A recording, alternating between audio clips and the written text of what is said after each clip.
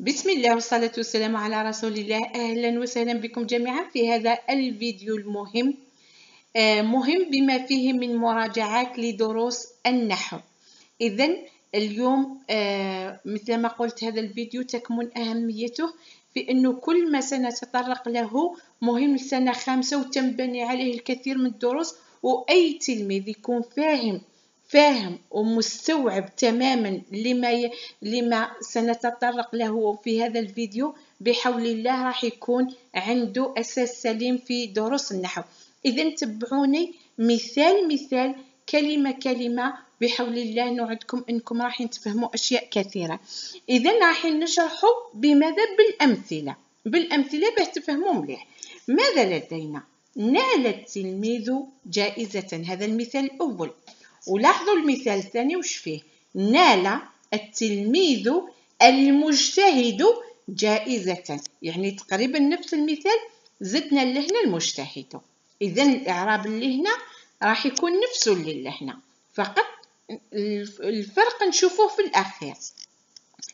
قبل ما نبدأ نعرف وش لازمني نعرف هل هذه الجملة جملة اسمية أم جملة فعلية؟ هي جملة فعلية. لماذا؟ لماذا؟ لأن نال فعل. نال فعل يعني معناها تحصل أو حصل. تحصل على جائزة. ولا نقول فاز مثلا. إذا نال قلنا هو فعل. الآن آتي به هل هو فعل مضارع أو ماض؟ إذا به التلاميذ هنا يعرفوا الفعل الماضي من المضارع. بطريقة بسيطة دايما نصرفوه مع الضمير هو هو. نقول لكم مثلا هو أكل البارحة أكل الأسبوع الماضي أكل صباحا لكن غدا يأكل. مثلا درس درس البارحة صباحا. المهم في الماضي لما نقول غدا ماذا نقول؟ نقول هو يدرس. أيضا هنا نال في الماضي ينال في المستقبل. إذا هنا فعل ماض أعربه كما بهذه الطريقة. نال فعل ماض مبني على الفتح. نال فعل ماض مبني على الفتح. التلميذ من هو الذي نال؟ هو التلميذ. إذا التلميذ هو الذي قام بالفعل. إذا فاعل مرفوع وعلامة رفعه الضمة الظاهرة على آخره. ببساطة شديدة الفاعل دائما يكون مرفوع. ماذا نال؟ ماذا نال؟ نال جائزة. نال جائزة. إذا الجائزة هي اللي وقع عليها الفعل. والاسم الذي يقع عليه الفعل ماذا نسميه؟ نسميه مفعول به. إذا جائزة مفعول به منصوب وعلامة نصبه الفتحة الظاهرة على آخره. المفعول به دائما دائما منصوب. إذا ماذا لدينا؟ نفس المثال. نال التلميذ إذا قلنا فعل فاعل هنا زدنا عنصر آخر في الجملة الفعلية. ما هو؟ المجتهد وش قلت لكم أنا؟ التلميذ المجتهد. هنا وش عملنا للتلميذ؟ المجتهد نقول لك أنت تلميذ مثابر أنت تلميذ نشيط أنت تلميذ ذكي. أنا أصفك. هنا إذن أنا وصفت التلميذ بالاجتهاد. وقلنا من شروط الصفة وش هي الصفة أو النعت. شروطها وش هي؟ أنها تكون مطابقة للموصوف في كل شيء في الحركة. أول شيء في الحركة قلنا التلميذ ضمة هنا مرفوع هنا المجتهد أيضا تكون مرفوع. قلنا معرف التلميذ هنا المجتهد معرف. قلنا مفرد مفرد. آه، مذكر مذكر. إذن الصفة تكون مطابقة للموصوف في كل شيء. كيف نعرفها؟ بسيطة جدا. إذا المجتهد نعت مرفوع وعلامة رفعه الضمة الظاهرة على آخره ببساطة شديدة. الآن نذهب لمثال آخر راح نشوف فيه عنصر آخر يدخل على الجملة الفعلية. لاحظوا يقبل الفائز مفتخرا. هنا جملة فعلية. لماذا؟ لأنه يقبل فعل. إذا هي جملة فعلية. الفعل هنا ماض أم مضارع؟ لاحظوا يقبل. قلنا دايما بأبسط طريقة تصرفوه مع هو. يقبل. آه إذا يقبل فيما بعد. لماذا؟ لأنه في الماضي ماذا نقول؟ نقول أقبل. أقبل. إذا فعل مضارع. الفعل المضارع كيف نعرفه؟ نقول فعل مضارع مرفوع الفعل المضارع يكون مرفوع هنا مرفوع بماذا؟ مرفوع بالضمة آه مرفوع وعلامة رفعه الضمة الظاهرة على آخره من هو الذي يقبل؟ من هو الذي يقبل؟ الفائز إذا الفائز ماذا؟ الفائز فاعل مرفوع وعلامة رفعه أيضا الضمة هنا نأتي للعنصر الجديد اللي دخلناه الجملة الفعلية مفتخرا. ننتبه هنا العنصر الجديد اللي دخلناه الجملة الفعلية. لاحظوا يقبل الفائز مفتخرا. هنا تبان لكم كأنه وصف صفة لكنها ليست صفة. لماذا؟ لأني هنا ما وصفتش الفائز. راني بينت بينت هيئته. يعني وش معناها هذه ببساطة؟ معناها أني بينت حالة حالة صاحب الحال أثناء وقوع الفعل. معناها بينت حالة الفائز لما أقبل كيف أجيب على سؤال كيف نقول لكم؟ كيف أقبل الفائز؟ تقولوا لي أقبل الفائز مفتخرا يعني بينت هيئته أو حاله أو حاله. إذا نسميه بالحال. نسميه بالحال الحال كيف يكون؟ يكون دائما منصوب نكرة منصوب. الحال دائما نكرة منصوب يعني لا يتبع لا يتبع آه، صاحبه لا يتبع صاحبه في حركة الإعراب. نكرة منصوب. كيف نعرفه؟ نقول نقول حال منصوبة وعلامة نصبها الفتحة الظاهرة. وعلامة نصبها الفتحة الظاهرة ونكمل على آخره. إذا ماذا لدينا؟ لدينا هنا نذهب إلى المثال الأخير. هنا أعرج على المثال بسرعة لأنه بسيط جدا. تعمل الممرضة الخلوقة في عيادة خاصة. هنا عندنا تعمل فعل مضارع الممرضة فاعل. هنا قلت الخلوقة لاحظوا كلمة تصف الكلمة اللي قبلها وتطابقها في التعريف في التعريف والتنكير في الإفراد والجمع في حركة الإعراب. إذا صفة الخلوقة وصفتنا الممرضة. عندنا هنا في في حرف جر. الاسم الذي يأتي بعد في ماذا نسميه؟ نسميه اسم مجرور. اسم مجرور بفي نقول عيادة. اسم مجرور بفي وعلامة جره الكسرة. وعلامة الجر هي الكسرة. هنا في عيادة خاصة. هنا أيضا خاصة راهي نعت أو صفة نعربها كما آه كما طريقة الإعراب السابقة. الآن نذهب لأشياء أخرى في الجملة. ماذا؟ الإسمية. قبل أن نذهب للجملة الإسمية ماذا لدينا؟ عنصر مهم كثير درسته في السنة الرابعة. ما هو؟ ما هو المضارع المجزوم ببساطة شديدة. المضارع هو دائما الفعل المضارع هو دائما مرفوع يكون دائما مرفوع.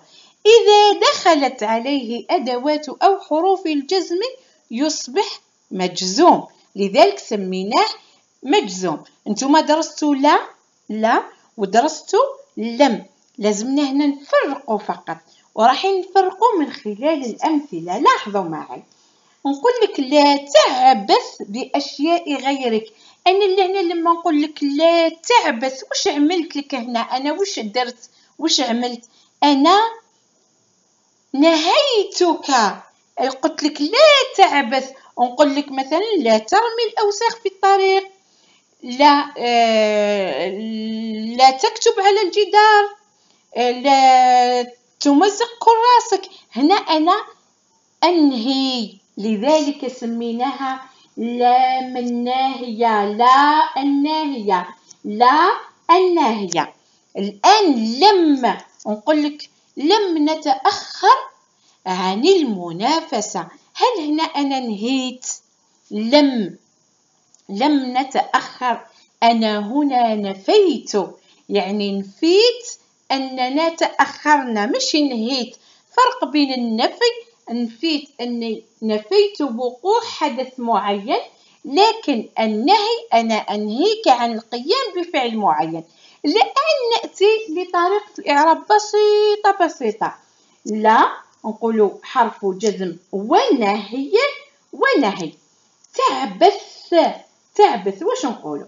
نقولوا فعل مضارع مجزوم بلا يعني لا هي اللي جزماته وعلامة جزمه السكون الظاهرة على آخره هنا نقولوا السكون ظاهر وليست السكون ظاهرة. ولازمنا نضيف حاجة. وين هو الفاعل لما نقول لك لا تعبث؟ وشكون هو اللي راح يعبث؟ أنت. اذا واش نقولوا؟ نقولوا الفاعل ضمير مستتر مستتر تقديره أنت. واش معناها؟ معناها ضمير مستتر تقديره أنت. يعني راهو مختفي ما يبانش غير ظاهر. هذه هي مستتر معناها غير ظاهر. إذا الفاعل ضمير مستتر تقديره أنت هنا في لم نتأخر ماذا لدينا؟ لدينا لم حرف نفي عندنا نتأخر أيضا فعل مضارع مجزوم بلم النافية وعلامة جزمه السكون ظاهر على آخره وهنا الفاعل وش هو؟ ما هو الفاعل؟ هل أنت لم نتأخر وشكون نتأخر من؟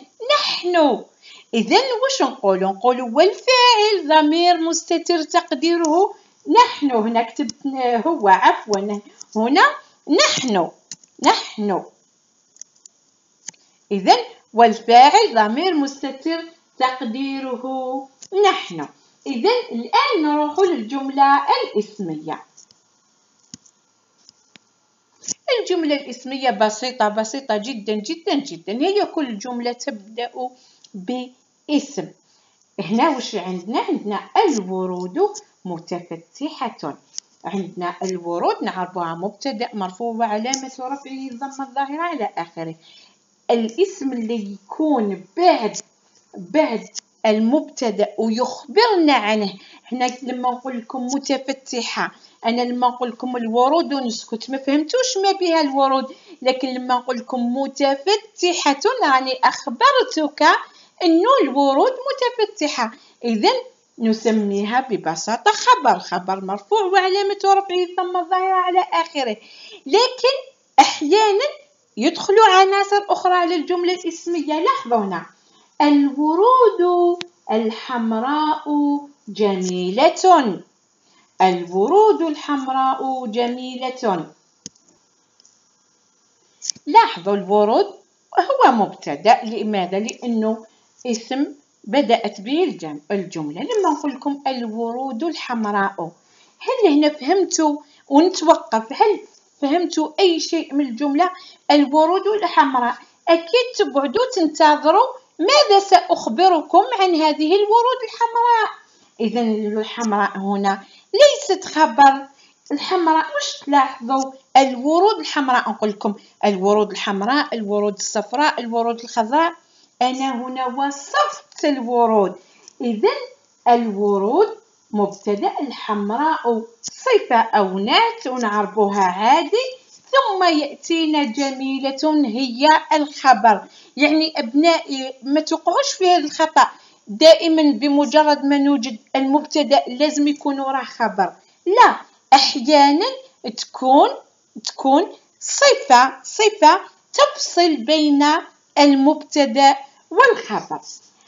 العنصر الأخير وهذا راح نخليه فيما بعد إن شاء الله لأنهم راح يفصلوه في السنة الخامسة اللي هو علامات رفع الاسم لأنه الاسم يرفع أحيانا بالضمة اكتشف العالم علاجا فعالا. لاحظوا هنا اكتشف العالم هو آه، فاعل إذا يكون مرفوع بماذا هنا يكون مرفوع بالضمة بالضمة. إذا ماذا لدينا؟ لدينا هنا أيضا يرفع الاسم بالألف عندنا أيضا الألف. هنا ماذا لدينا؟ اكتشف العالمان. هنا لأنه مثنى رفعناه بالألف علاجا فعالا ويرفع أيضا بالواو. المواطنون مبتدأ المخلصون آه، صفة أوفياء. هنا ما يهمنا هنا هو المواطنون المخلصون. هنا مرفوع لكن مش مرفوع بالضمة وإنما مرفوع بالواو. لماذا؟ لأنه جمع مذكر سالم. هنا عندنا الضمة المقدرة مثلا الفتى المؤدب محبوب. هنا أيضا مبتدأ يرفع يفترض أنه يرفع بالضمة لكن هنا عندنا مرفوع بالضمة المقدرة. المقدرة هنا مانيش راح نشرح كثير لأنه كل هذه الأمور راح نعملو تقريبا راح يكون كل درس وحده. نتمنى أنه هذه المراجعة وراهي راح أتركها لكم مكتوبة بالموقع. فادتكم. لا بأس أنكم تقسموا تقسموا الفيديو إلى الجملة الفعلية وحدها والجملة الإسمية وحدها وهنا علامة رفع الاسم. باه تتمكنوا مليح. ونقول لكم في أمان الله. نلتقي.